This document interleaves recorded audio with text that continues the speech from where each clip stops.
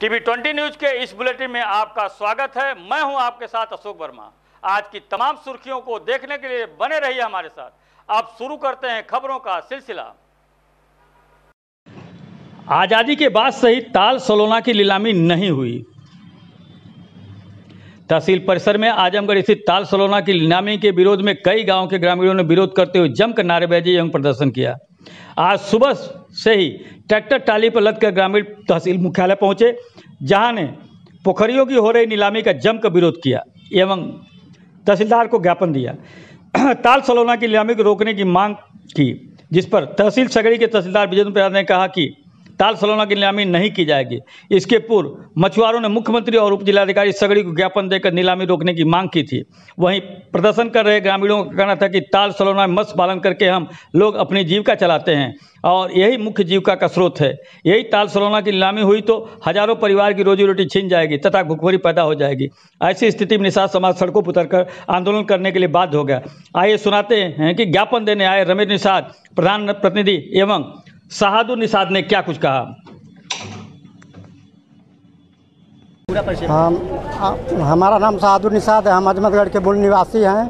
क्या मामला है आप हम हम लोग हम लोग ताल सोलोना के संबंध में आए हुए हैं। ताल सोलोना की नीलामी आठ सितंबर को पेपर में गजट हुआ था और पहली तारीख को नीलामी का डेट था। उस डेट पर हमारे ताल सोलोना का दो सौ दो नंबर भी गजट हुआ है। जो सात सौ छः सौ अड़तीस है और दूसरा सात सौ चौबीस।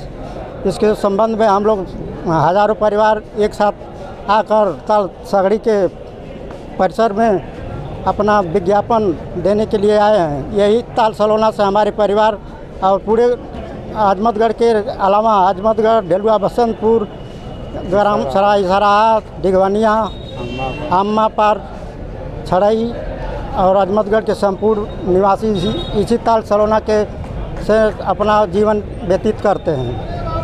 इसमें सेरकी बेर्रा तिन्ना याद कमल कमलगट्टा जो भी वनस्पत उ- वनस्पति उप- उपजती है उसको हमारे पूर्वज आज तक खाते हुए चले आए हैं। आज भी हम लोग उसी का सेवन करते हैं। क्या चाहती हैं? हम लोग चाहते हैं कि हमारे ताल सोलना की नीलामी आज तक हमारे कभी हुई नहीं है और आज भी न हो यही हमारी मांगे है। अभी जो आपने पत्रक दिया था एस डी एम साहब क्या आश्वासन मिला को उसमें यह शासन मिला था पहली तारीख कल दिए थे हम लोग एस डी एम साहब को जो उसमें बोले थे कि इसके पर हम विचार करेंगे। पूरा परिचय बताइए। मेरा नाम है रमेश निषाद ग्राम प्रधान इसरा और हम लोगों की समस्या है सर कि आज कई पीढ़ी से ये निषाद समाज अजमतगढ़ ताल में अपनी रोजी रोटी चलाता चला आ रहा है। और आज सरकार एक तरफ़ कह रही है कि हम निषादों को मछुआरों को सभी पिछड़ी जातियों को रोजी रोटी दे रहे हैं। तो आज मूल रूप से ये यही हम लोगों का जीविका है।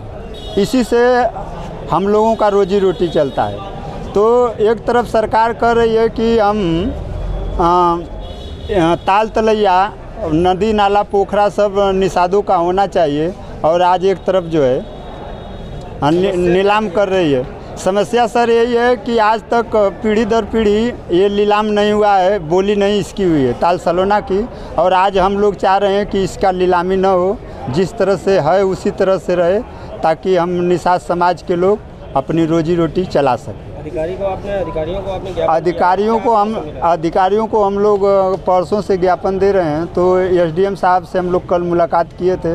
तो कहे कि ठीक है इस पर हम विचार करेंगे और जैसा होगा वैसा हम इस पर काम करेंगे। एडीएम साहब के और किन किन लोगों को मिले? एसडीएम साहब से हम लोग केवल कल मिले थे।